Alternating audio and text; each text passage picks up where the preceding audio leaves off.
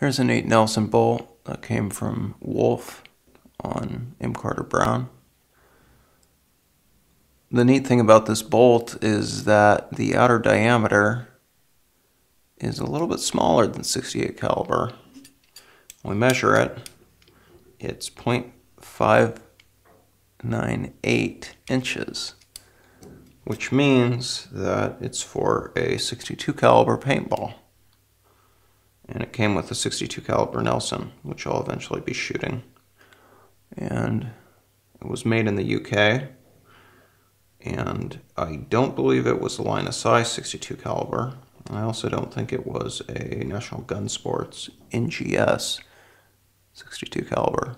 So I'm not sure who the manufacturer was, but pretty neat. It is adjustable as well with, uh, I believe, an Allen key.